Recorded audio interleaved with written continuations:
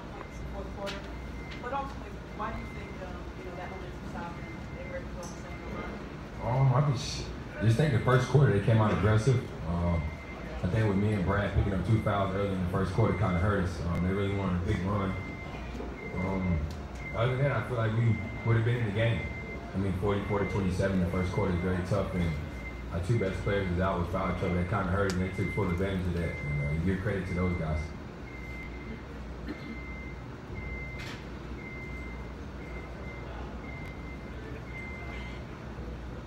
John, uh, Michael Grange, Sportsnet. Down 2-0, do you guys feel like you're in a bit of trouble in this series, or is it just kind of going on? No, I wouldn't say trouble. I mean, every series is different. Every year is always different in the playoffs. Um, we had a situation where we was up 2-0 going to Atlanta. They took care of home court in a situation. We went uh, to Boston, we down 2-0 and came back home and took care of uh, what we were supposed to do. Um, we had to definitely make adjustments. Um, they're a team that's going to be hungry coming into game three, trying to take full advantage of that. And we have to be the team that's very hungry, trying to take of home court and just take it one game at a time. Uh, we can't try to jump and say winning game three going to give us a 2-2 series. Uh, we're down 2-0. We're the team that's in the hole. We're the team that's desperate, but we have a lot of confidence. Uh, we ne- we're not down on ourselves at all.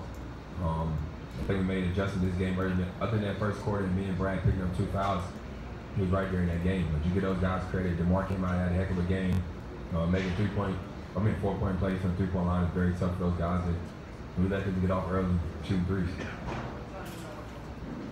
John, you and DeMar team all stars in the same year four years ago, and you guys, this is your second time playing in the playoffs now. How have you seen this game evolve in the last few years?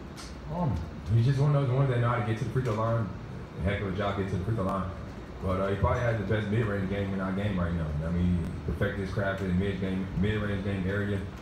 And um, he's a tough cover. You know, I mean, we understand what we have our hands up for, but we're not going to back down from that coverage. And uh, tonight, when he's making threes, um, he's very tough to guard. And um, we just got to make adjustments, make it tough for him, not make him feel comfortable. I think last game he wasn't too aggressive. This game he came out very aggressive, and uh, we let him get comfortable.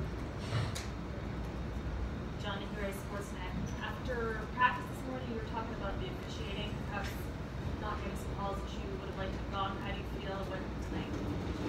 Um, I mean, it is what it is. I mean, last game I said some some calls I didn't get, but at the same time I still got to finish those plays. Uh, tonight I got a couple calls, and uh, I still got to finish some of my plays I feel like I missed. Um, that's not going to dictate what the game is. I think it messes with your shooting percentage a little bit. Other than that, not really going to adjust the game unless it's late in the game. But uh, it is what it is. But that's not the reason why we lost. We lost because we were down 44 to 27 in the first quarter.